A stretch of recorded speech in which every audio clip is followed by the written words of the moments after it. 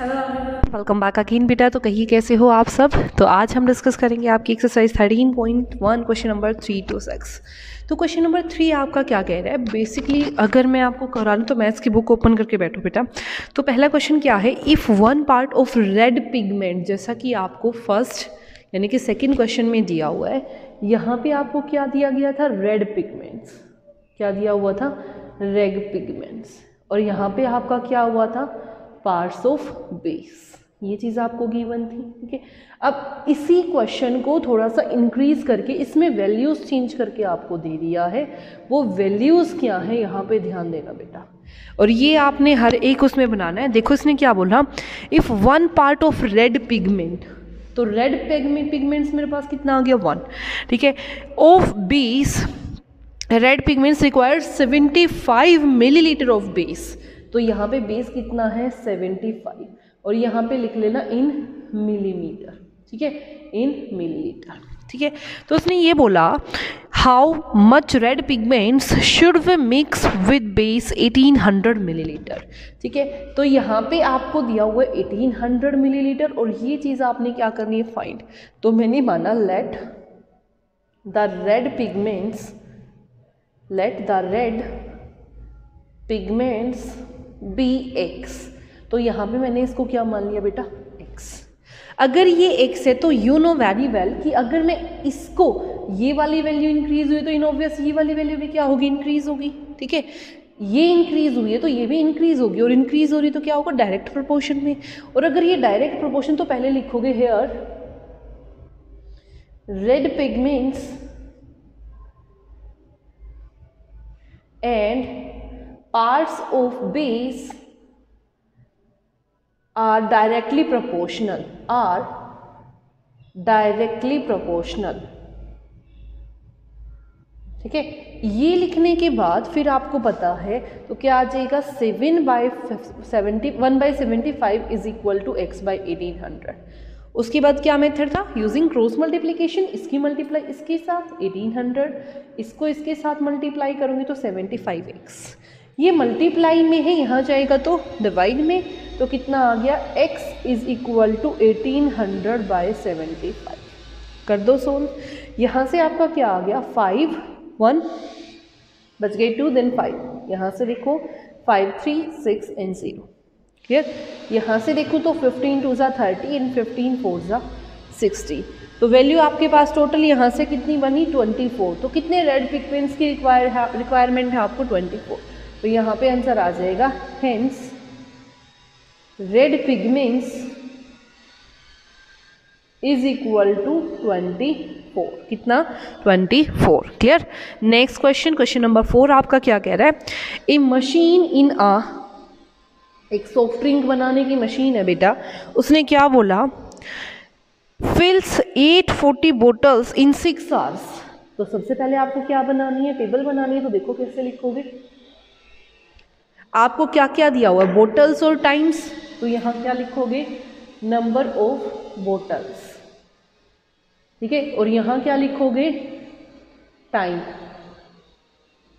इन hours क्योंकि hour की बात हो रही है क्वेश्चन नंबर फोर तो उसने क्या बोला बेटा? ध्यान से देखना, उसने बोला machine in a soft drink factory fills 840 bottles total कितनी बोटल्स है? 840 bottles fills in six hours कितने टाइम में? सिक्स आवर्स में. How many bottles will be fill it by it in five hours तो बताना है कि फाइव आवर्स में वो कितनी बोतल फिल करेगा। इन ओबियस अगर मैं टाइम को डिक्रीज करूँगी तो नंबर ऑफ़ बोटल्स भी क्या होंगी? डिक्रीज यहाँ पे आपकी कॉमन सेंस चलेगी। ठीक है? तो एक चीज़ की डिक्रीज होने से दूसरी चीज़ भी डिक्रीज हो रही है तो ये आपका क्या हो गया? डायरेक्ट प्रपोर्शनल तो यहाँ पे क्या आएगा? Let number of bottles be X कितनी मानी? एक्स ठीक है? यहाँ पे क्या लिखोगे? Here number of bottles and time are directly proportional are directly proportional ठीक है? तो यहाँ से अगर ये डायरेक्टली प्रोपोर्शनल में तो क्या लिखूँगी? डायरेक्ट प्रोपोर्शन में तो 840 forty by six is equal to ये मैंने क्या माना था? X is equal to X by five cross multiply इसकी मल्टीप्लाई इसके साथ so eight forty into five is equal to six into X X की वैल्यू मेरे को निकालनी है, ये मल्टीप्लाई में है, वहाँ जाएगा तो डिवाइड में. So X is equal to eight forty into five by six यार तो यहाँ से सिक्स वन जा सिक्स बच गए कितने?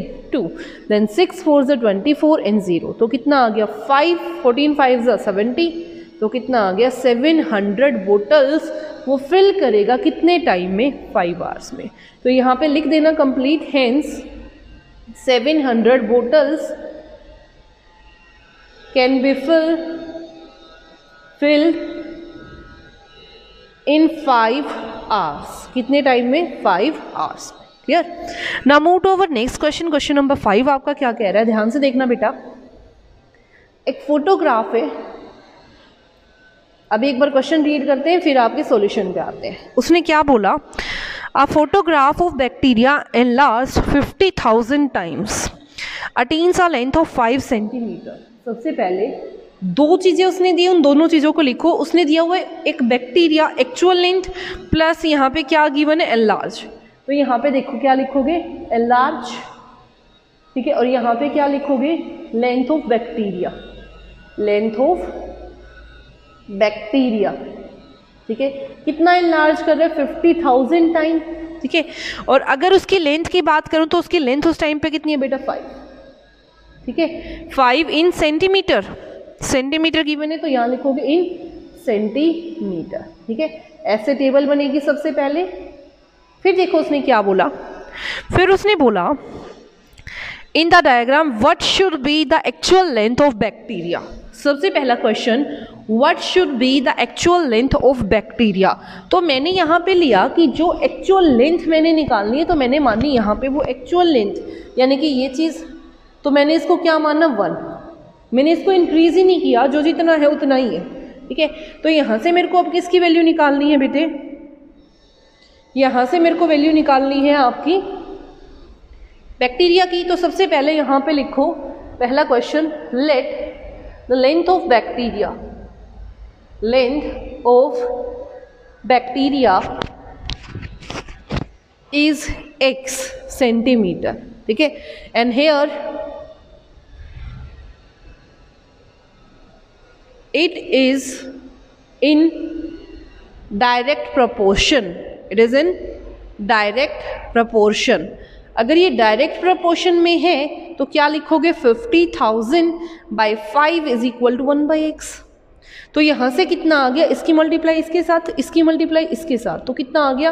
Fifty thousand is equal to into x is equal to five ये मल्टीप्लाई में एक्स के साथ मेरे को एक्स की तो वैल्यू निकालनी है। तो वहाँ जाके क्या हो जाएगा डिवाइड में? तो it means five by fifty thousand तो यहाँ से आ गया टेन थाउज़ेंड ठीक है?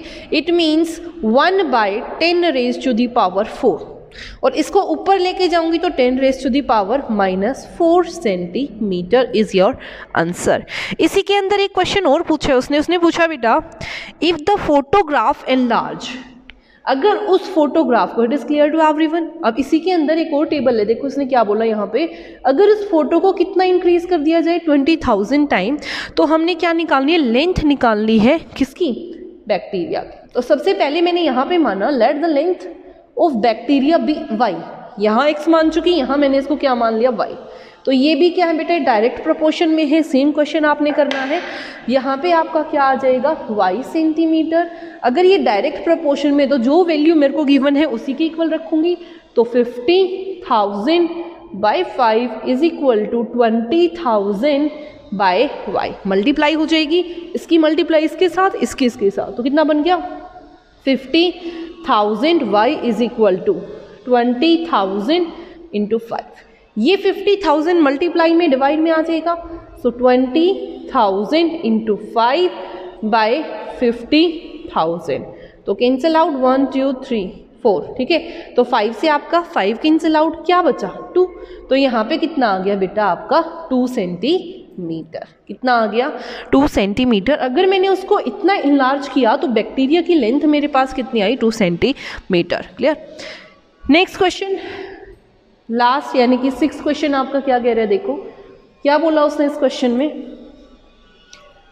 जो चीज़ गिवन है, हम उसी को लेके चलेंगे। इसने बोला in a model of ship एक शिप का आपको मॉडल दिया हुआ है। मॉडल आपने देखे भी होंगे। अगर मैं मॉडल की बात करूँ तो उसमें चीज़ें छोटी छोटी दिखती है और इन एक्चुअल जब उनको बनाया जाता है तो वो चीज़ें बहुत बड़ी हो जाती है। फॉर एग्ज़ाम्पल आपने किसी बिल्डिंग का मॉडल बनाना है तो उसमें चीज़ें छोटी छोटी रखोगे कि ये चीज़ यहाँ होगी, यहाँ बेडरूम होगा, यहाँ वॉशरूम होगा, यहाँ पर आपका ड्राइंग रूम होगा। तो वहाँ पर सारी चीज़ें प्रेजेंट होती है, लेकिन इन एक्चुअल जब आप उस चीज़ को अप्लाई करते हो, बनाते हो तो वो बहुत बड़ी बिल्डिंग बन जाती है। ठीक है? तो इसने क्या बोला? In a model of ship, the mast is 9 centimeter high, while the mast in actual ship, यहाँ पे देखो, दो चीज़ें दी हुई है एक्चुअल लेंथ और मॉडल लेंथ ठीक है? तो यहाँ पे लिख रही हूँ लेंथ इन मॉडल और यहाँ पे लिख रही हूँ लेंथ इन एक्चुअल एक्चुअल में क्या लेंथ है? और मॉडल में आपकी क्या लेंथ है, ठीक है? इन एक्चुअल जो लेंथ मॉडल में जो दी हुई इन सेंटीमीटर और यहाँ पे जो लेंथ है वो इन मीटर वो मीटर में है, ठीक है? अब यहाँ पे क्वेश्चन क्या कह रहा है, ध्यान से देखना। देखो इसने क्या बोला? नाइन सेंटीमीटर है तो बेटा आपकी जो मास एक्चुअल लेंथ उसकी ट्वेल्व मीटर है। यहाँ आपके पास नाइन यहाँ आपके पास ट्वेल्व तो क्वेश्चन क्या पूछ रहा है? If the length of the ship is 98 metre then how long is the model ship यहाँ पे उसने क्या बोला? अगर जो उसकी लेंथ है एक्चुअल लेंथ वो 98 मीटर है तो ये चीज़ आपने फाइंड करनी है। तो यहाँ पे लिखोगे लेट यहाँ पे देखो, उसने जो लेंथ दी है इन एक्चुअल जो लेंथ यहाँ पे दी है, ये आपको दी है 28 ठीक है? तो मैंने माना जो लेंथ है, किसकी मास की वो कितनी है? एक सेंटीमीटर ये आपको फाइंड आउट करनी है, ठीक है? तो यहाँ से देखो, आपको पता है कि अगर ये चीज़ इंक्रीज़ होगी तो ये भी इंक्रीज़ होगी। ये इंक्रीज़ है तो ये ये इंक्रीज़ हुई तो ऑब्वियस ये चीज़ इंक्रीज़ होगी क्लियर तो यहाँ से मेरे पास क्या आ गया here length of model and actual length actual length of ship are in direct proportion, are in direct proportion direct proportion. ठीक है so nine by twelve is equal to x by twenty eight अगर cross multiply करूँगी तो इसकी multiply इसके साथ और यहाँ से ये इसके साथ ट्वेल्व इंटू एक्स ये मल्टीप्लाई में है, वहाँ जाएगा तो डिवाइड में। So x is given to be nine into twenty eight by twelve ठीक है? तो थ्री थ्री ज़ा एंड थ्री फोर ज़ा एंड फोर सेवन ज़ा ठीक है? तो कितना आ गया? ट्वेंटी वन ठीक है? थ्री थ्री ज़ा नाइन देन थ्री फोर ज़ार ट्वेल्व फोर सेवन ज़ार ट्वेंटी एट तो सेवन थ्री ज़ार ट्वेंटी वन सेंटीमीटर। तो यहाँ पे आपका कितना आ जाएगा? ट्वेंटी वन सेंटीमीटर क्लियर तो बेटा, ये थी आपकी आज की video. I hope it is clear to everyone and if you like it then please share and subscribe thank you so much